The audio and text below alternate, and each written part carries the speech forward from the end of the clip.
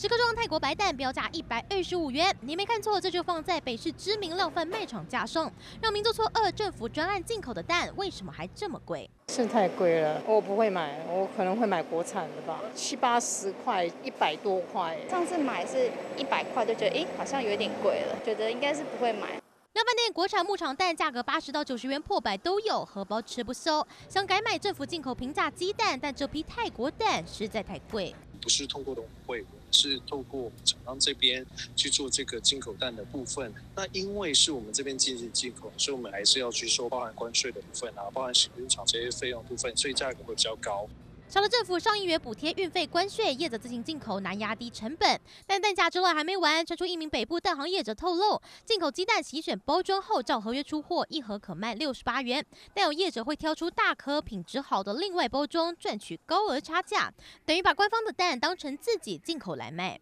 目前是没有诶，因为如果说它洗成盒装蛋啊，盒装蛋都有规范啊，它比如说一盒大概就是六百克。正负正负十趴上下这样子，